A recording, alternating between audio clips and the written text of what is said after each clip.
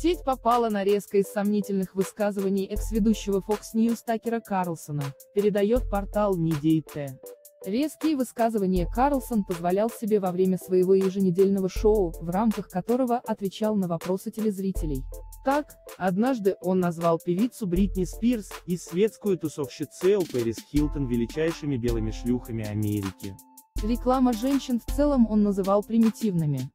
Я люблю женщин, но они очень примитивные, одноклеточные, их нетрудно понять. И что они ненавидят больше всего? Так это мужскую слабость, делился он. Такер Карлсон работал на телеканале Маснпак до 2009 года, после присоединился к Fox News. Возмутительные комментарии, о которых идет речь, он позволял себе с 2006 по 2011 год.